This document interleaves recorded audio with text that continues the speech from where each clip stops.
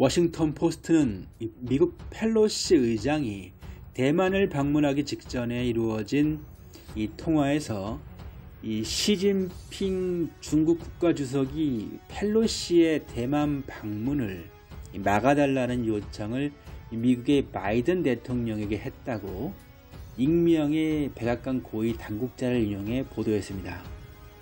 그만큼 중국으로서는 미국의 고위 관료의 대만 방문이 그만큼 부담스러웠다는 것인데요.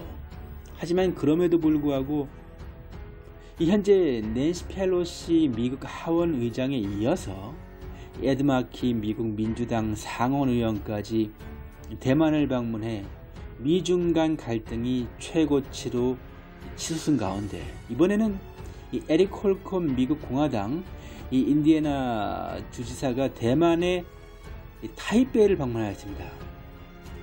이에 대하여 중국은 대만 북동부에서 실탄 사격 훈련을 개시하면서 양안, 즉 중국과 대만 간의 군사적 분계선 역할을 하던 대만 해협 중간선 지우기에 나섰습니다.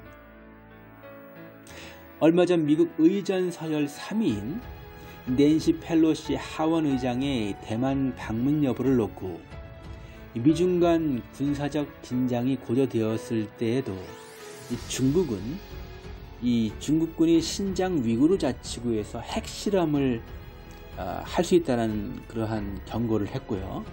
또한 중국은 공식적으로는 1996년 이후 핵실험을 실제하지 않고 있으나 이 신장 위구르 자치구 동부 지역 하미시에서 핵실험을 할 것처럼 공개적인 압박을 미국에 가하고 있습니다. 그러한 중요한 전략적 요충지인 중국의 신장 위구르 자치구 내에서 최근 계속해서 분발 지진들이 발생 중에 있습니다. 어제 8월 23일 화요일 신장 위구르 자치구 악수현에서 세 번의 연속 지진이 발생하였습니다.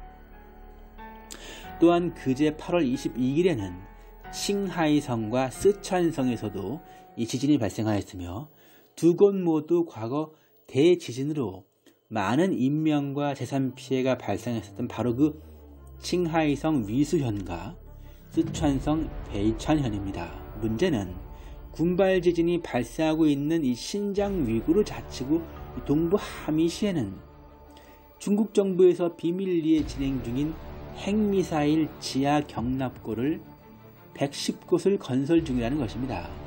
며칠 전에도 낸시 펠로시 미국 하원 의장이 대만을, 대만을 방문하자 중국은 신장 미구르 자치구 동부 하미시에서 핵실험을 하겠다고 경고를 했었습니다. 그만큼 미국이나 중국에 있어서는 이 신장 미구르 자치구 동부 지역 하미시는 매우 중요한 전략적 어, 요충지 중, 중요한 장소입니다. 현재 중국은 120기 이상의 경납시설을 동부 신장 위구르 자치구 하미시에 가지고 있고 또한 추가적으로 앞으로 200여 기 이상을 더 지을 계획입니다.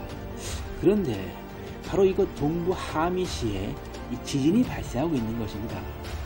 신장 위구르 자치구 동부 하미시의 핵무기 경납시설 건물은 이슬람교도 소수민족 위구르족 등의 이 재교육 시설이 있는 장소라고 알려진 하미시에서 약 100km 남서쪽에 위치하고 있으며 2021년 3월부터 건설이 시작된 것으로 추정됩니다. 또한 중국군이 중국 북서부 깐수성 사막지대에 대륙간 탄도미사일 ICBM용 지하 발사 시설로 추정되는 119개 건물을 건설하고 있는데 이곳 깐수성은 제가 그동안 지진 방송에서 몇 년 동안 한결같이 주장을 해온 중국 최대의 지진 위험 지역 중의 한 곳입니다. 또한 신장 위구르 자치구 동부 하미시의 핵무기 경납시설은 최근 탈레반과 연결된 이 ETIM 등 이슬람 원리주의 군벌들에 의하여 이 핵무기 경납구가 점거되거나 약탈될 경우에는 핵무기가 유출될 수 있는 위험 요소가 항시 가지고 있습니다. 중국 정부는 신장 위구르 자치구의 핵시설에 군발 지진까지 발생하면서 이 탈레반과 이 지진이라는 두 가지 위험 요소에 큰 위감을 느끼고 있습니다. 이 신장 위구르 자치구의 경납고는 상업용 위성사진으로 확인됐으며 고해상도 사진은 위성사진 업체 플래닛 랩스가 제공했습니다.